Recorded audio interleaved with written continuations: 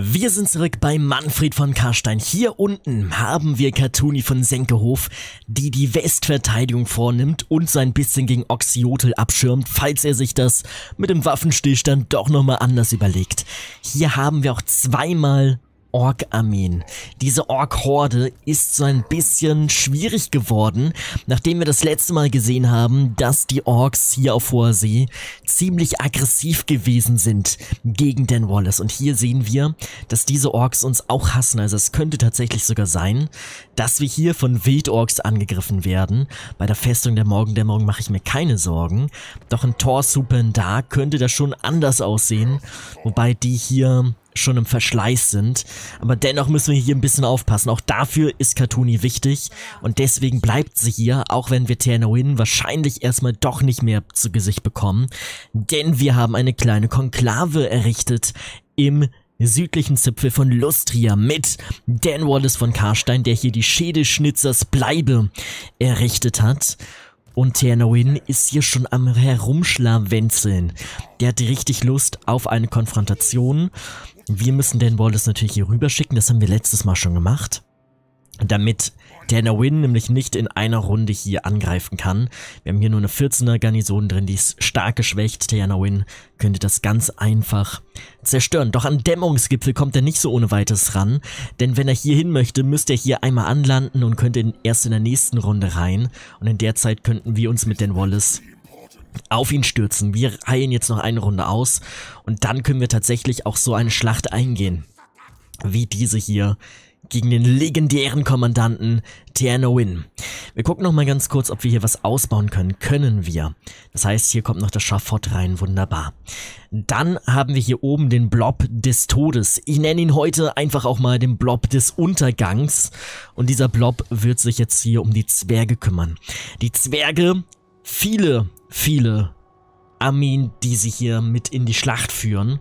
Das ist insofern schlimm, weil sie halt sehr, sehr starke Kommandanten haben. Das heißt, wenn du hier zwar nur so eine Ava-Armee hast und hier nur eine 8-Armee, machen die trotzdem richtig viel Schaden, weil diese Helden einfach so stark sind, gerade wenn sie dann als Unterstützungsarmee kommen. Das heißt, wir werden auch nicht als Blob agieren, jedenfalls nicht in der Offensive. Wir werden nur in der Defensive als Blob agieren, damit wir nämlich jetzt mit dem Blitzschlag arbeiten können. Wir haben hier Alaric Ranulfsson mit einer Armee, die sich eigentlich machen lässt. Ist auch nur eine 18er Armee.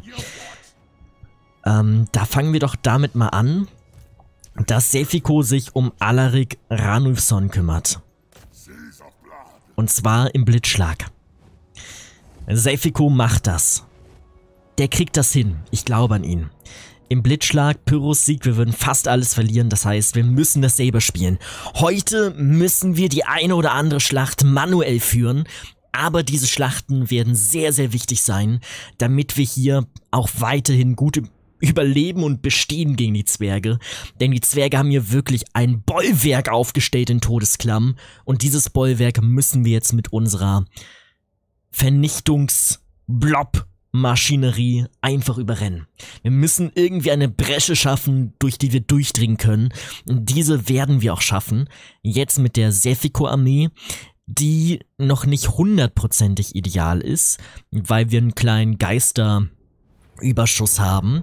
Aber es reicht auf jeden Fall, um hier sehr gut zu dominieren in dieser Schlacht. Das sollten wir auf jeden Fall hinbekommen. Wir gucken uns einmal kurz an, was der Feind hat und wie wir uns aufstellen können. Der Feind hat Giro Bomber. Ja. Und wir haben Kanonen und Gräuschleudern. Alles klar. Wir haben hier eine Reihe an Fernkämpfern und hier vorne haben wir unterschiedlich starke Nahkämpfer.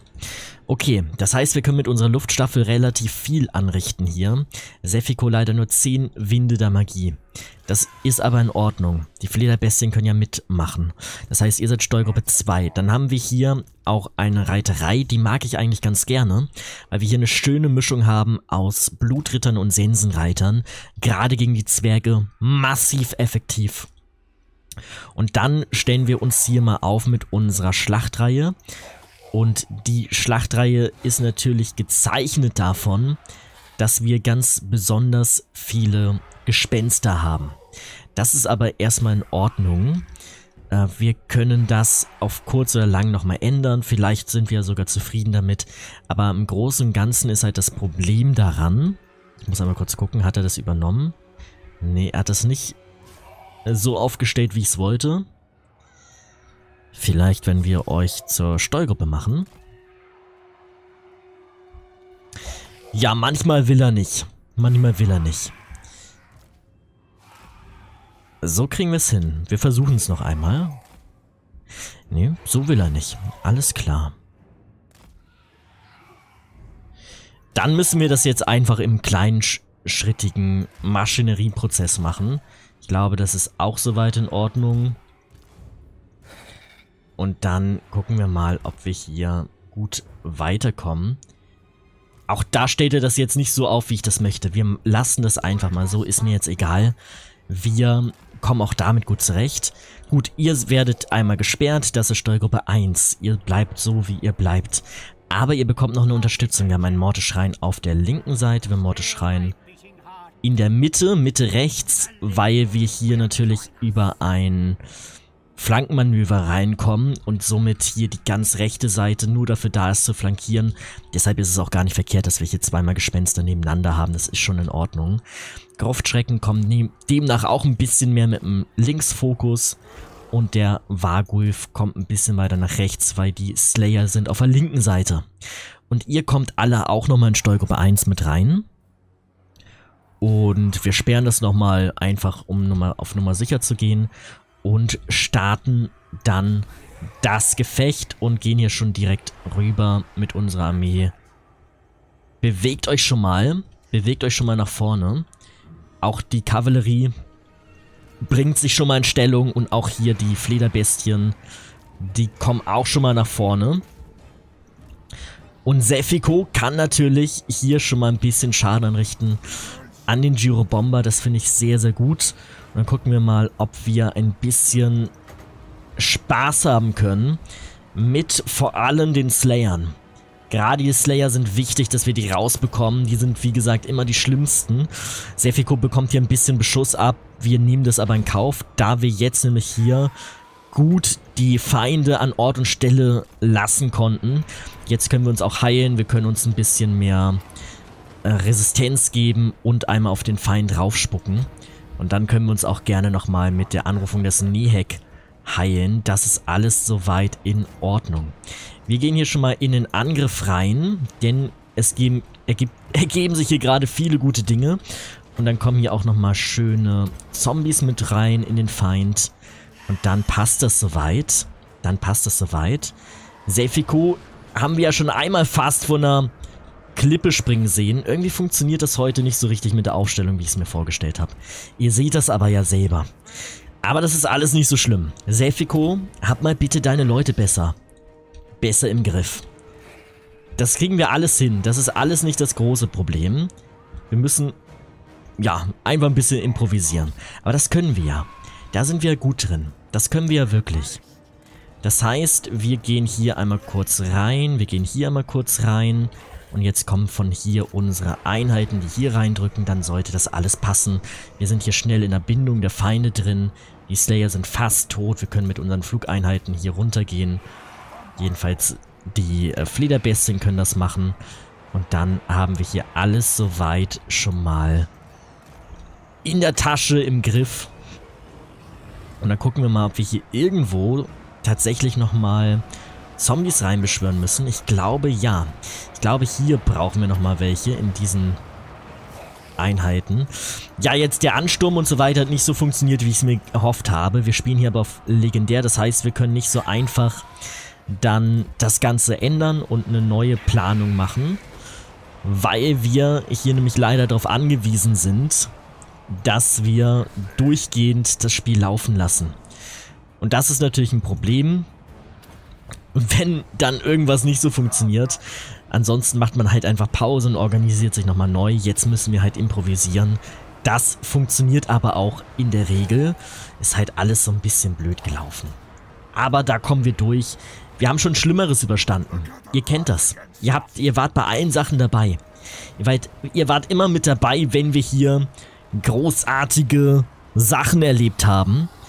Jetzt kommt hier nochmal ein Vargulf mit dazu. Dann sollte es alles hier passen. Du musst hier gerne noch einmal raufgehen auf die Musketenschützen. Die Flederbestie ist hier drin. Sind hier gefährliche Einheiten für ihn? Ja, die Bergwerker sind okay eigentlich. Das sollte für den Moment passen. Sefiko könnte sich selber heilen oder nochmal Zombies beschwören. Wir werden das erstmal offen halten, was wir machen. Auf jeden Fall kann er nochmal in die Luft gehen und hier ein bisschen unterstützen. Denn wir haben natürlich noch die Wiederkehr des Untodes, die wir noch gar nicht eingesetzt haben. Und ich heile ihn doch nochmal. Ich heile ihn doch nochmal. Diese Giro-Bomber sind natürlich super nervig. Und es ist auch super nervig, dass Sefiko jetzt hier nicht in die Luft gegangen ist, aber dann soll er halt hier mit unten kämpfen. Auch das sollte hier nicht mehr das Problem sein.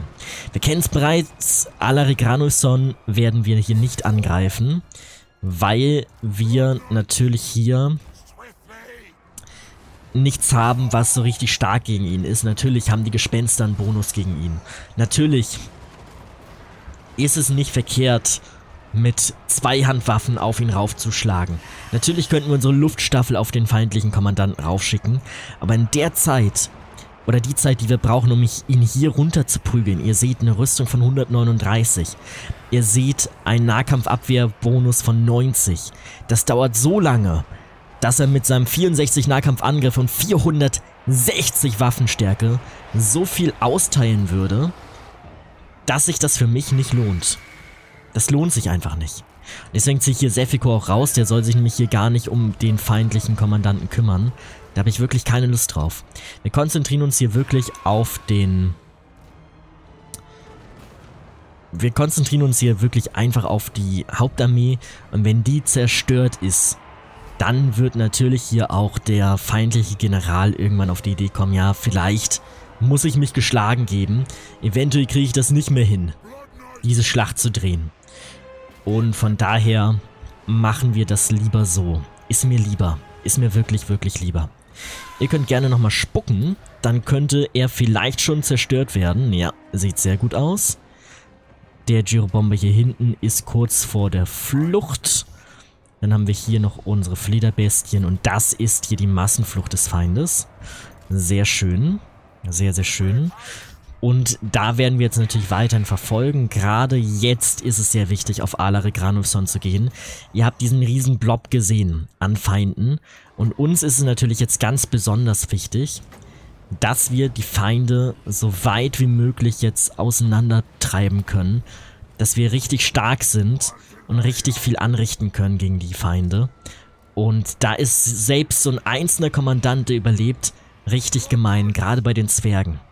Gerade bei den Zwergen. Ihr geht hier einmal hinterher. Ihr macht das hier ganz gut. Hier sind die Gespenster hinterher. Das ist sehr gut. Also sehr gute Schlacht bis hierhin. Habt ihr gut gemacht. Sefiko ist auf dem Boden. Ihr seht das. Also wenn so ein Giro-Bomber zerstört wird, dann gehen hier diese Lufteinheiten gerne einmal auf den Boden rauf. Ergibt sich mir nicht der Sinn. Aber, ähm, ja, müssen wir mit rechnen, das heißt, wenn wir so Gyrobomber, Gyrocopter oder weitere Flugeinheiten über der feindlichen Hauptarmee zerstören, müssen wir damit rechnen, dass unsere Flugeinheiten dann auch runtergehen. Auch wenn das äh, von der Sinnhaftigkeit nicht unbedingt gegeben ist. Weil wenn der ja schon abstürzt, also ich weiß, warum das, woran das liegt. Das liegt daran, der stürzt ab und der Angriffsbefehl ist noch und dann geht er halt mit runter. Aber wenn er schon tot ist, brauchen wir ja nicht mit runtergehen. Allerdings kann man natürlich auch sagen, und das ist vielleicht auch nicht verkehrt, ähm, dass eventuell auch die Feinde so schlau sind und sagen, hey, bevor wir tot sind, gehen wir einmal auf den Boden runter, um den Feind auf den Boden runterzuziehen.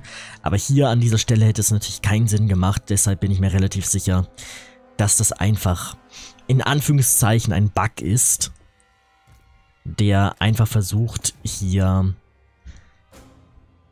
ja, den Angriffsbefehl noch nach dem Tod fortzusetzen. So, wir verfolgen, wir verfolgen, wir verfolgen. Ich habe euch eben erklärt, wie wichtig das für uns ist. Alaric Ranulfson hält so viel aus. Wir verfolgen ihn mit der gesamten Armee und er ist einfach nicht tot zu kriegen. Und stellt euch vor, er wäre die ganze Zeit mit im Kampf, mit im Gefecht drin und würde uns die ganze Zeit 400 Schaden reindrücken. Das ist viel zu heftig. Also die Zwergen Zwergenbosse, die Zwergenlords, die Zwergenhelden sind einfach viel zu stark und da haben wir ihn gerade noch am Rand bekommen. Sehr gut, wir beenden das Gefecht. Ein entscheidender Sieg anstatt eines Pyrrhus-Siegs und statt der gesamten Armee haben wir 82 Einheiten verloren. Hauptsächlich bei den sensiblen Blutrittern, Sensenreitern und Gespenstern. Alles sensible Einheiten. Ansonsten unsere großen monströsen Einheiten alle gut überlebt. Diese Armee von Sefiko ist weiterhin einsatzfähig und das, obwohl wir hier so ein Fail hatten am Anfang, dass die Aufstellung nicht so richtig wollte, wie ich wollte. Aber das haben wir sehr gut improvisatorisch noch hinbekommen. Aber wir sind natürlich auch ein bisschen darin geübt zu improvisieren, von daher hat das alles ganz gut funktioniert. Es wäre aber natürlich angenehmer mit einer Pausefunktion gewesen. Aber so müssen wir dann einfach mal durch den Stress durch. Und das Schöne ist ja bei solchen Stressmomenten, dass wenn es dann geklappt hat, man umso belohnter rausgeht. Das ist ja auch so der Reiz, den ich bei Souls-like Games so verspüre, weshalb ich auch diese Art von Spiele sehr gerne mag. Alaric Ranulfsson wurde vernichtet und wir holen uns die Armeeverstärkung, ist ja klar, denn wir haben hier noch einige Schlachten vor uns. Sundre Meheldur ist jetzt hier und wir könnten eventuell mit Jester hinterhergehen und könnten dann sogar zu zweit auf ihn raufklopfen. Oh, jetzt habe ich Manfred genommen, ist aber genauso in Ordnung. Das ergibt eigentlich keinen Unterschied. Und er haut ab. Er haut ab. Feige, feige, sauer. Hinterhalt ver verhindert. Ah, jetzt kommen hier die ganzen Sachen vom Anfang der Runde, alles klar. So, Manfred kann jetzt hier nicht mehr viel machen, das heißt, er geht in den Todesblock mit Sefiko und kommt Jester noch irgendwo ran. Ja, nicht so richtig. Das heißt, wir haben eine Armee des Feindes schon mal besiegt, sind jetzt im Todesblob und gucken einmal kurz, ob hier die Verstärkungen ganz gut funktionieren. Ja, nicht so hundertprozentig, wie ich es mir vorstelle. Ja, jetzt sollte... Ja, ja, jetzt verstärken wir uns. Das war eben noch nicht der Fall. Also dieser kleine Fitzelchen hat hier eben wirklich den Unterschied gebracht. Das ist gut. Jetzt unterstützen sich hier alle gegenseitig und dann sollte nicht so viel passieren. Ich weiß, die Zwerge haben teilweise auch den Blitzschlag ähm, als Möglichkeit, aber, wichtiges Aber, jede Armee von uns würde gegen diese Sundrim-Armee oder auch gegen die, diese Skype-Armee gegen ankommen, denn der Blitzschlag schließt ja auch bei den Zwergen dann aus, dass sie Verstärkung bekommen. Von daher ist das für mich gerade wirklich in Ordnung, wie es hier ist. Das hier ist ein guter Blob, da kommt der Feind nicht vorbei und wir können uns mit unseren Blitzschlägen dann immer weiter vorfressen. Dieser Blob, diese Barrikade, diese Barriere, die hier von den verteidigenden Zwergen aufgestellt wurde, den werden wir durchbrechen. Wir haben Hammer und Meißel dabei und sind bereit, die Steinwände der Zwerge einzureißen. Ja, wollen wir hier so einen Hexenfeuerbrenner bauen? Lohnt sich das? Ja, man könnte hier so ein bisschen Korruption verbreiten. Finde ich jetzt aber nicht so spannend. Okay, wir können noch einmal ganz kurz rüberschauen, ob wir hier irgendwo noch was ausbauen können, denn wir haben ja gerade Geld. Und da schauen wir auch einmal kurz rein. Wasser des ewigen Lebens gibt es auf jeden Fall ein bisschen was. Sehr schön. In Katar gibt es was. Da bauen wir natürlich alles ein bisschen aus. Aber da haben wir auch schon wieder kein Geld mehr. Okay, das ist gut. Haben halt ein super Einkommen. Wir könnten noch eine Armee aufstellen. Aber ich sehe gerade nicht die Notwendigkeit. Wir haben hier wirklich drei Elite-Armeen. Ja, wie gesagt, bei Sefiko ist mir so, dass auch bei Jester ist mir das Verhältnis von Geist zu den anderen Infanteristen noch nicht ganz lieb. Und Sefiko, bei Sefiko hätte ich gern vielleicht noch eine Flederbestie mehr, aber es sind trotzdem Elite-Armeen. Sind trotzdem absolute Elite-Armeen. Dann haben wir hier unten Katuni mit so einer durchwachsenen Armee. Das ist noch nicht äh, super Elite, aber es kommt auch sehr nah ran. Also wenn wir jetzt auf der Tierliste sind, ist das ein B-Plus-Tier, was sie hier dabei hat. Definitiv. Also damit kommt sie auch sehr gut voran, denn Wallace hier auch mit seiner Elite-Armee richtig stark. Also diese Komposition ist halt wirklich sogar fast mit die stärkste mit den Helden hier, die dann auch nochmal die Verstärkungsrate buffen und so weiter. Also das ist schon sehr, sehr gut. Wir haben jetzt unterm Strich fünf Elite-Armeen. Damit kommen wir erstmal klar und wir können jederzeit eine neue aufstellen. Wir bauen unsere Landen aus.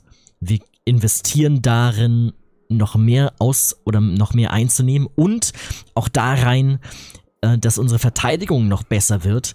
Also ich bin wirklich zufrieden, wie es gerade läuft. Wir können hier auch nochmal eine Blutlinie erwecken. Ähm, da nehmen wir aber erstmal hier diese Übersicht weg. Wunderbar. Und können uns entscheiden, ob wir die Lamianer nehmen. Kampagnensichtfeld, nachfolgende Runde 150% könnten wir nehmen für Dan Wallace. Das wäre vielleicht gar nicht so verkehrt. Oder wir sagen hier, was gibt es hier Neues? Hm. Ich bin mir noch nicht ganz sicher. Ach, wir bekommen mehr Gruftschrecken bei Tote erwecken. Ja, ist auch nett. Ist auch nett. Wir nehmen mal hier das hier. Damit wir dann hier einmal sehen, was hier noch auf uns zukommt. Denn wir sehen Tiana Win, das ist jetzt erstmal nicht die größte Bedrohung, aber wenn hier jetzt noch viel kommt, das könnte schwierig werden. Also wir schauen mal. Und dann gehen wir auch schon eine Runde weiter. Ich bin stolz wie Bolle, ich meine wie Mordem. Denn Mordem Stolzbart wurde hier im Tunnelwegenetz abgefangen von Sefiko. Richtig stark gemacht. Und wenn wir das automatisch machen, würden wir nur eine Einheit verlieren. Das kann man machen, denn die wird ganz, ganz sicher äh, wieder erweckt. Wir machen das mal und holen uns hier die Verstärkung natürlich. Und er wird nicht wieder erweckt. Oh nein, dann hätten wir das doch spielen müssen. Ich war mir so sicher, dass diese eine Einheit wieder erweckt wird, wenn wir eine ganze Armee zerstören. Oh Mann. Aber, na gut. Damit können wir leben. Damit können wir wirklich leben. Dann wird die halt wieder erweckt. Irgendwann und muss ich dann auch mal ein bisschen trainieren, damit wir die Goldstufe dann auch wieder bekommen. Ist nicht so schlimm. Und da sind wir mit unserer Blob-Strategie. Sefiko hat leider einen Mann verloren, aber das war hier schon richtig gut. Wir haben zwei große Armeen rausgenommen und der Feind kommt hier auf die Idee, ganz schnell abzuhauen. Das ist auch das einzig, Einzige, was er kann, das Einzige, was er, ja, halbwegs gut machen kann, um hier nicht ganz auseinandergenommen zu werden. Aber Jester riecht hier natürlich die Möglichkeit, hier richtig schön Panik und Unruhe zu treiben. Und da holt er sich erstmal die 15er Armee raus. Da holt er sich erstmal die 15er Armee raus unter Molgo Warauge und macht es im Blitzschlag und dann kriegen wir das nicht hin. Nicht im automatischen Gefecht. Ich habe ja schon gesagt, das hier wird heute wahrscheinlich die Folge der manuellen Gefechte. Da gehen wir direkt rein. Wir haben gerade ein automatisches Gefecht gemacht. Das war in Ordnung äh, konnte man machen, aber wir haben eine Einheit verloren, der Rest ziemlich angeschlagen. Das können wir mit Jester jetzt nicht machen, weil wir noch zu viele Zwergenarmeen des Feindes haben. Das heißt, wir müssen hier bedacht vorgehen. Sehr schön ist bei Jester, dass wir hier sehr, sehr viele äh, Flederbestien haben und eine schöne Schlachtreihe aus Zweihandwaffen.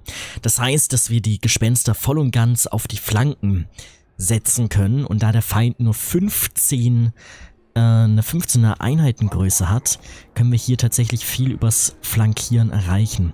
Das ist sehr, sehr schön. Also hier kommen unsere Zweihandwaffen hin. Dann haben wir hier drüben ein paar Gespensterchen. Und dann haben wir hier drüben auch nochmal ein paar Gespensterchen. Und ihr seid Steuergruppe 1, ihr seid 4 äh, und ihr seid 5. Die Flugstaffel ist Steuergruppe 2. Da haben wir hier noch die Mortal die kommen sehr weit an die Ränder, damit die Gespenster auch noch gebufft werden am Ende, wenn die dazustoßen. Wir haben hier ein Vargulf, wir haben Gruftschrecken, wir haben keinen Helden dabei.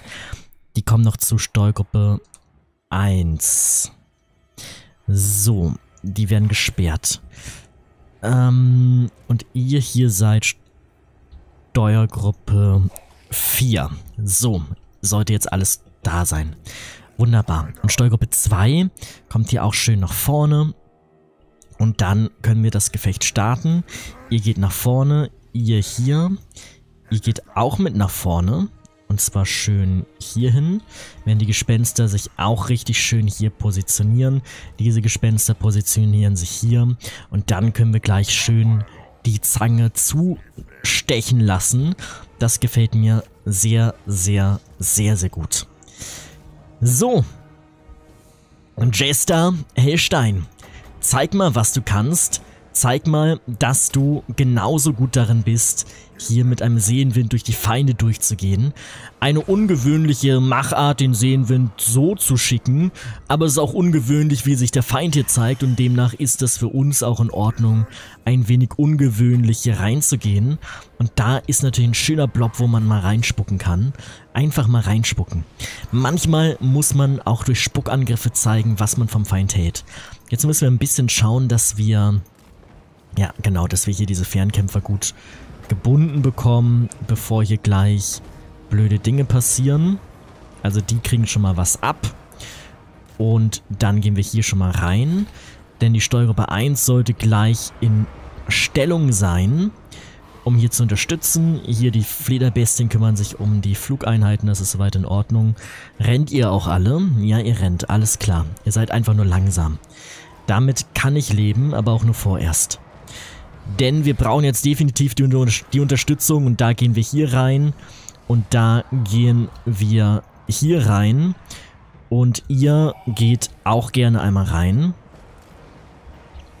Weil ansonsten haben wir ein großes Problem, weil Jester sonst hier zu sehr ja, zu sehr Mitleidenschaft gezogen wird, aber wir können hier gerne nochmal Zombies reinbeschwören damit auch hier Molgovar Augehüß selbst ein bisschen rauskommt. Und dann können wir hier das Ganze auch nochmal ein bisschen buffen. Hier können wir auch nochmal den Buff raushauen und dann kommt hier die Hauptarmee rein und die Gespenster kommen rein. Das ist richtig schön, das ist richtig, richtig schön. Das funktioniert auch soweit. Und Jester kann gerne im Nahkampf bleiben. Das funktioniert so gut, dass ich hier wirklich Jester im Nahkampf lassen kann. Ihr könnt gerne mal hier mit rein. Ihr kommt nicht weiter, aber ihr, ihr sollt gerne weitergehen. Immer weiter, immer weiter, immer weiter rauf. Immer weiter rein, damit wir die Feinde gut binden können. Das ist relativ wichtig. Und ihr spuckt einmal rauf. Ihr spuckt einmal rauf. Dann sollte der eigentlich Geschichte sein. Wenn ihr kein Friendly Fire macht. Ja, leider ein bisschen Friendly Fire. Ist aber in Ordnung. Und du darfst auch einmal spucken, bitte. Einmal raufspucken. Und hinterher. Sehr schön. Funktioniert. Er hier kommt niemals wieder. Und er auch nicht. Gut. Dann gehen wir zurück. Und dann dürfen sich die Flederbestien hier gerne mal nicht auf die Slayer stürzen, sondern auf die Eisenbrecher. Sehr schön. Die Slayer bekommen... Die bekommen ein wenig Liebe. Und zwar von unserem Seelenwind. So. Sehen wird natürlich jetzt nicht auf viele Feinde leider angewendet, aber so haben wir wenig Friendly Fire und die Slayer sind natürlich ein großes Problem für uns. Und so können wir hier unsere Gespenster noch ein bisschen retten, die hier auch nochmal gebufft werden und dann sollte das passen. Und da gehen wir auch nochmal in die Heilung rein und dann sollten die Slayer hier auf jeden Fall rausgenommen werden. Die sind ja unerschütterlich. Das bedeutet, die fliehen nicht und kämpfen bis zum bitteren Ende. Molgovar-Auge. Ist er auch unerschütterlich oder was ist hier los? 100 Führerschaft ist eigentlich der Wert, den unerschütterliche Einheiten haben. Hier sehen wir das aber nicht. Kann aber sehr gut sein, dass Molgovar-Auge tatsächlich mit seinen 100 Führerschaft auch niemals flieht und das wird auch so sein. Obwohl er den Trade nicht hat, unerschütterlich. Das heißt, er hat sich das einfach durch seine Werte erkämpft. Nein, doch nicht. Doch nicht. Er wurde gebrochen. Die 100 Führerschaft er hat sogar 124 Führerschaft. Aber trotzdem haben wir es brechen können, weil er den Trade nicht hat, unerschütterlich. Alles klar. Sehr schön. Dann kommen wir hier sehr gut weiter. Gefällt mir richtig gut. Also, sehr schön gemacht, Jester. Sehr schön gemacht. Einst als Joker in das Spiel gekommen. Heute zum absoluten Eckpfeiler hochgearbeitet. So möchte ich das sehen. So, was haben wir hier hinten? Eisendrachen, Trollhammer, Harpune. Einer wird nicht wiederkommen, das ist in Ordnung. Was haben wir hier? Zwei Orgelkanonen ist auch in Ordnung. 23 Langbärte. Da würde sich doch nochmal lohnen, hinterher zu gehen. So, und dann beschleunigen wir das Ganze. Sehr, sehr schön. Und dann haben wir hier schon viel erreicht. Können uns hier gerne nochmal ein bisschen blobben. Und auch ihr könnt hier gerne nochmal mit reingehen. Ihr da hinten braucht eh keine Unterstützung mehr. Nein, hier mit rein. Und dann gucken wir mal, ob wir hier nochmal eine schöne Heilung reinbekommen. Für die geschwächten Gespenster. Das wäre doch eigentlich eine schöne Geste. Und dann gehen wir hier nochmal rein. Und ihr seht, wie hier die Lebenspunkte hochgehen. Vielleicht kriegen wir das noch einmal hin. Vielleicht kriegen wir das noch einmal hin. Ihr könntet das auch nochmal ein bisschen gebrauchen. Das heißt, ihr geht mal da mit rein. Und haben jetzt noch einmal, einmal eine Heilung. Das würde mir richtig gut gefallen. Und die Heilung kommt. Ja, und hier sehen wir, die Lebenspunkte steigen. Es werden Geister wiederbelebt. Sehr, sehr schön. Sind ja keine Geister. Ich sage immer Geister sind ja Gespenster. Aber ihr wisst ja sicherlich immer, was ich meine. Und dann werden wir nochmal heilen. Wir nehmen das alles mit. Wir nehmen das alles mit. Ist ja selbstverständlich. So. Und die werden hier gut wiederbelebt. Und ihr seht das, wir sind wieder mit einer Armee hier am Ende da, die eigentlich nicht, nicht ähm, beschädigt ist. Und das ist halt einfach super stark.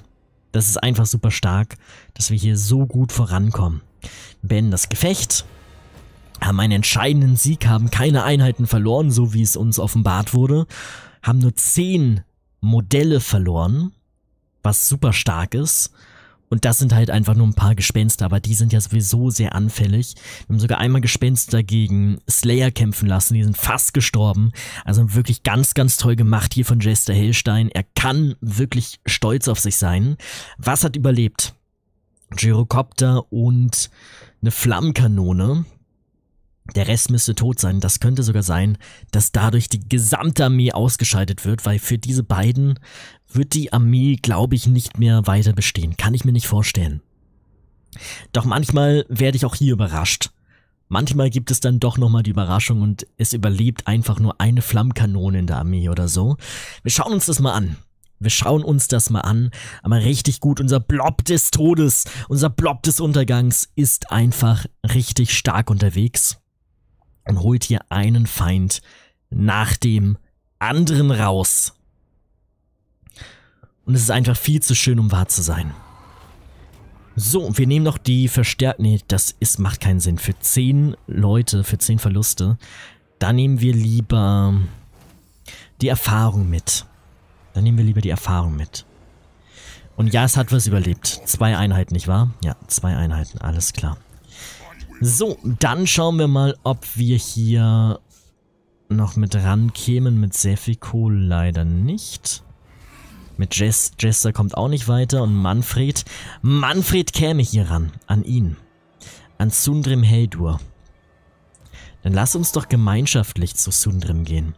Jetzt Sefiko dahin und Manfred geht dahin. Vielleicht kriegen wir dann sogar nochmal eine automatische Schlacht hin. Das sollte ja eigentlich passen und hier ist eigentlich nichts mehr da. Können wir auch gleich alles auseinandernehmen. Richtig gut. Pyrrhussieg. Was, was stirbt? Das ein oder andere stirbt. Ach, weil beide Armeen des Feindes mit reinkommen.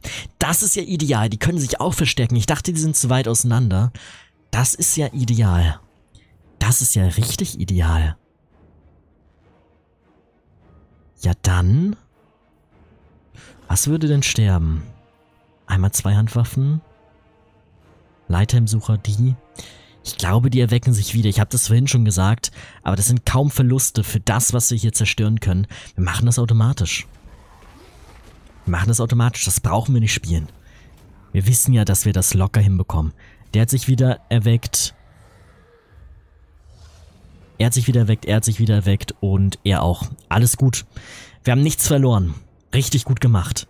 Wir nehmen sogar noch die Armeeverstärkung mit und haben hier alles zerstört von den Feinden, was wir nur zerstören konnten. Der gesamte gegnerische Block, die ganze Barrikade, die ganze Bastion der Unvergänglichkeit wurde vernichtet. So, wir kuscheln hier mal ein bisschen. Und ihr seid auch alle zusammen, nicht wahr? Ja, ja, ja, ja, ja, ja, ja. Das passt. Richtig stark. Er hier kann eh nichts mehr machen. Er zerfällt eh gleich. Wird einen neuen Kommandanten bekommen. Alles klar. Soll er machen. Und dann können wir uns hier tatsächlich Todesklamm holen. Das hier war richtig stark. Und dann können wir die Zwerge angreifen und dann uns um die blutige Hand kümmern, wie wir es schon letztes Mal gesagt hatten. Das ist wirklich gut. Jester hat sogar noch ein Level abbekommen. Auch da gucken wir natürlich nochmal rein.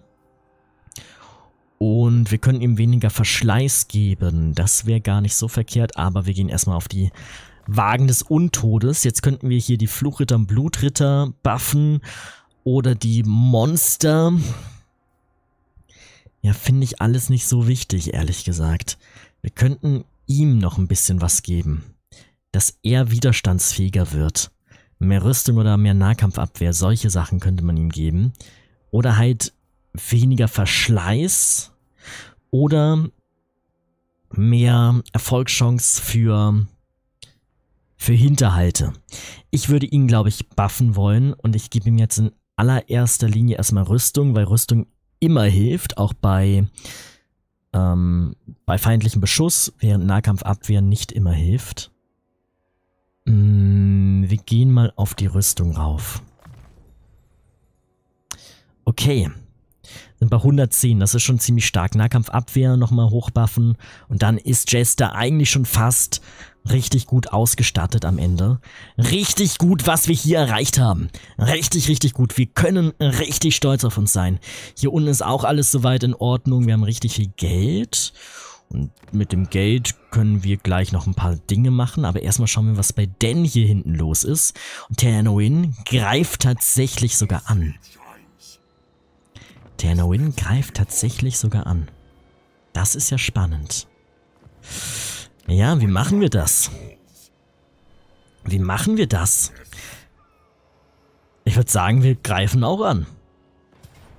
Dafür ist ja Dan Wallace hier.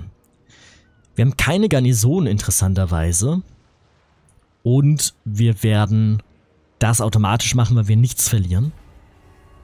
Und Tanowin wurde in Schädelschnitzers Bleibe auf den Meeresgrund geschickt. Und wir gehen rein in die Armeeverstärkung. Gerne. Gerne, gerne. Und Dan Wallace muss sich wieder ein bisschen heilen, hat aber hier natürlich mit Naka jemanden dabei, die sehr gut helfen kann bei der Verstärkung, richtig gut. Und hier werden neue Armeen ausgehoben. Mm, hier sehe ich erstmal keine Bedrohung. Das bedeutet, wir heilen weiter wie geplant. Aber das können wir auch hier an der Grenze machen, damit wir nämlich dann hier auch definitiv raufstürmen können. Wir könnten uns auch einen Dämmerungsgipfel reinsetzen. Aber ich weiß nicht, ob es dann reicht. Wobei hier ist eine Straße. Wir machen das. Wir gehen mal in den Dämmungsgipfel rein, damit wir die maximale Verstärkung bekommen. Sehr, sehr schön. Hier wird weiterhin gebaut und zwar die uralte Waffenkammer. Ihr wisst, was dabei passieren wird. Und dann gehen wir eine Runde weiter und schauen mal, was wir hier noch weiter erreichen können. Euer Verbündeter wurde angegriffen.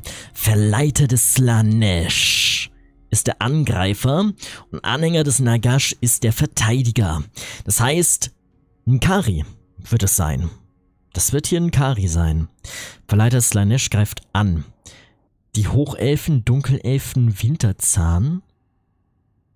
Also hier Throg, Hagref von den, um von den Dunkelelfen. Kriegsherren der Schattengeborenen, also Tiermenschen. Ivres, also Imrik und hier haben wir Tyrion. Das ist ja ein großer Krieg. Das ist ja ein richtig großer Krieg. Wenn wir ablehnen, würden wir das Bündnis auflösen. Wir können jetzt hier leider nicht viel anzeigen lassen. Ich würde jetzt gerne sehen, wie stark ist, sind denn Kari und Konsorten? Wie steht es um deren Stärkerang und so weiter und so fort? Das würde ich jetzt alles gerne einsehen, kann ich leider nicht, das ist das Problem. Ich würde gerne an der Seite meines Verbündeten den Krieg beitreten. Ich weiß halt nicht, wie stark die sind. Weil ich habe jetzt keine Lust, ehrlich gesagt, dass wir jetzt hier die ganze Zeit, dass wir die ganze Zeit hier von der Westküste irgendwie Slanesh-Anhänger auf die Insel geschickt, also in den westlichen Dschungel geschickt bekommen oder die Hochelfen reinbrasseln. Natürlich, wir haben hier unseren Puffer, unsere Pufferzone, aber es hindert sie ja nichts daran, hier was mehr zu kommen und uns hier unten anzugreifen. Aber wir sind mal ehrhaft. Ich weiß nicht, ob das eine gute Idee ist. Wir sind mal ehrhaft und kämpfen an der Seite unseres Verbündeten. Aber so viele Feinde wollte ich mir eigentlich nicht mehr machen. Das ist eine ganz schöne Hausnummer. Dafür, dass wir eigentlich dabei waren, unseren Frieden zu konsolidieren. Nur noch gegen die Zwerge und gegen Ternowin zu kämpfen. Und Oxiote wird sich ja auch noch anmelden. Und die blutige Hand auch noch. Kommt hier doch nochmal richtig große Spannung rein in diese Kampagne.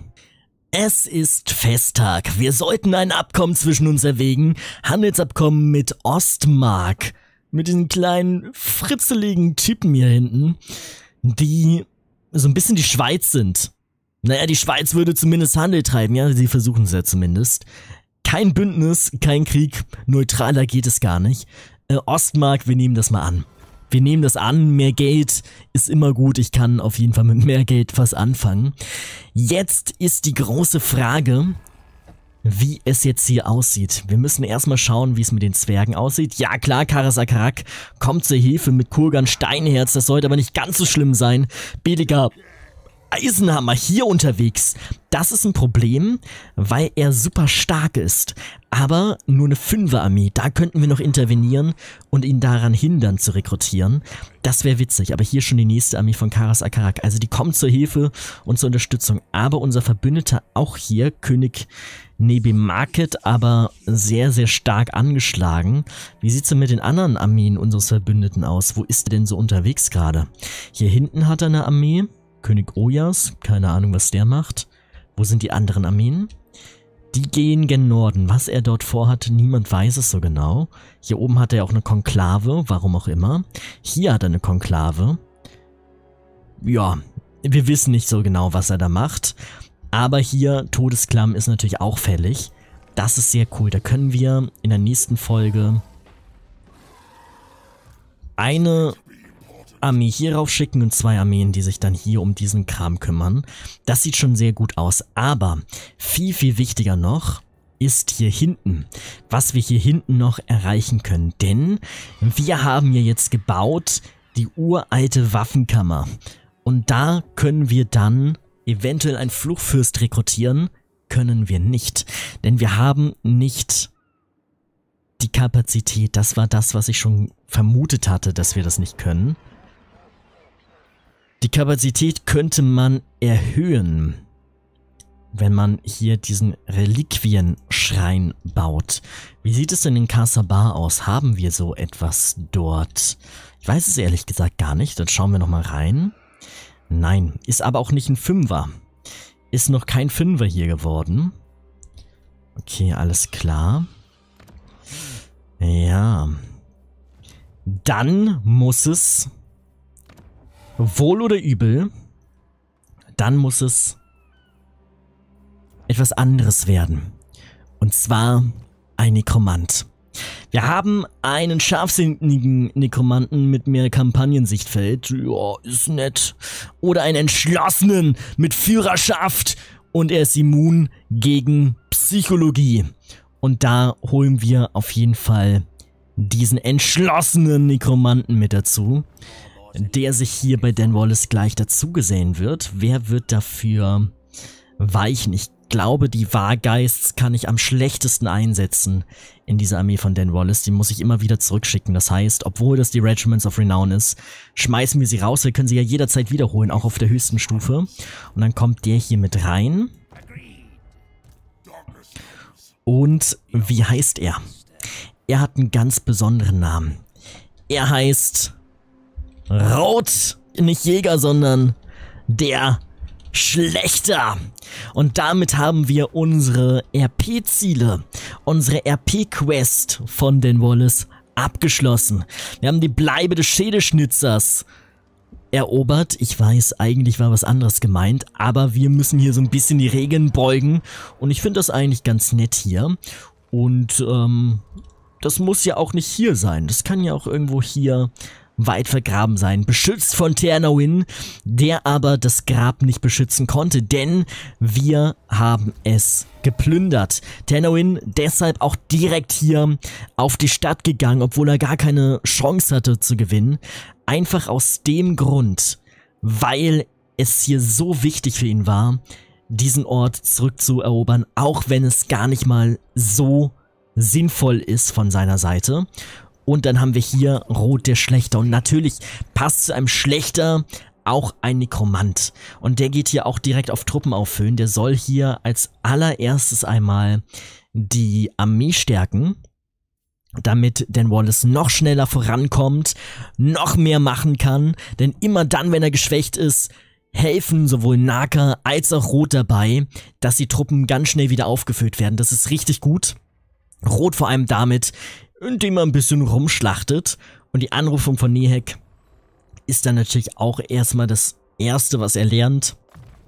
Einfach, damit er dann auch nochmal auf dem Schlachtfeld ein bisschen heilen kann. Und irgendwann wird er dann hier mit diesem Leichenkarren unterwegs sein. Das wird cool, wenn er nicht stirbt. Äh, naja, die Unsterblichkeit ist nur ein kleiner Weg. Rot der Schlechter wurde hinzugefügt und er kommt jetzt mit in die Armee rein und das schon in der nächsten Runde. Ich glaube, wir haben das hier erfolgreich abgeschlossen. Sehr, sehr stark, richtig gut gemacht. Cool, freut mich sehr. Und da gibt es natürlich noch ein kleines schönes Outro, aber bevor wir zum coolen Outro kommen, lasst mir gerne noch ein Like da und dann sehen wir uns schon in der nächsten Folge, wenn hier das Duo Infernale, na es ist kein Duo, es ist dann ein Quartett Infernale, auch mit Kevin von Leutstein, wenn die dann weiter nach vorne gehen und hier Tianawin weiter zerstören. Schaut euch an, wie weit wir gucken können. Das ist ziemlich cool und wir sehen nicht viel Verteidigung, das heißt, wir können hier tatsächlich eine Menge reißen. Das ist so, so cool. Also, dann sehen wir uns schon das nächste Mal wieder. Da war einst ein Mann, er schlachtet gern, doch der Sitte blieb er immer fern. Die Hexenjäger kam sogleich, führten ihn ins Todesreich. Doch der denn belebt, was eigentlich im Tode schwebt, holt Rot als Nekro heim, so kann er bei ihm sein.